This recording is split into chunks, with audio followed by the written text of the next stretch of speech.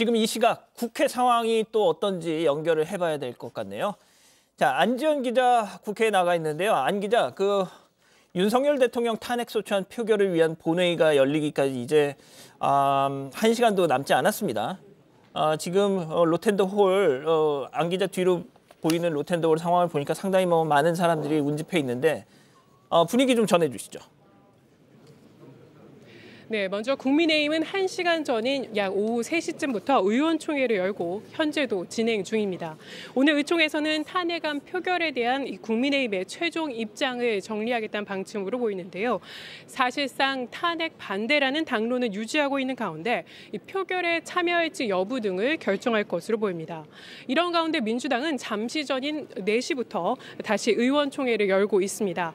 당 의원들을 미리 소집해 놓고 이후 본회의까지 표결 표결까지 이어간다는 방침으로 보이는데요.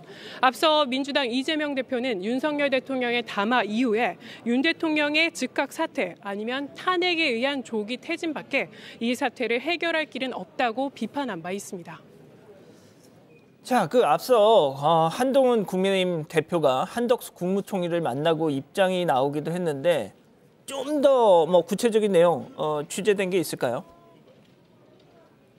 네, 아직까지 구체적인 담화 내용은 알려지지 않고 있습니다. 다만 앞서 한동훈 대표는 한덕수 총리를 만난 이후 이 총리와 당이 민생 상황 등 주요 상황들을 긴밀하게 논의하겠다 이렇게 짤막한 답변만을 남겼었는데요.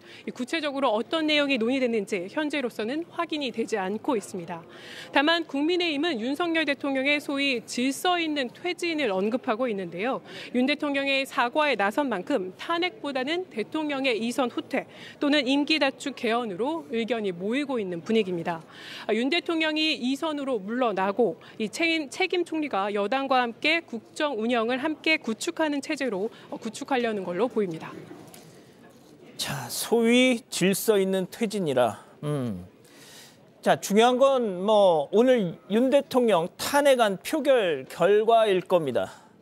지금 현장에서 어떤 전망이 좀 나오고 있습니까? 네, 말씀하신 대로 관건은 국민의힘 내부의 친한계 의원들의 표결 참여 여부일 텐데요. 현재까지는 표결 참여에 대한 뚜렷한 입장은 나오지 않고 있습니다.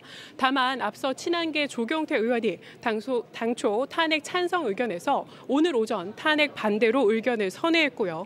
친한계 장동혁 의원도 탄핵 반대 입장을 말하면서 이 탄핵이 찬성될 경우에는 어, 최고위원직을 사퇴하겠다 이런 의견까지 밝힌 바 있습니다.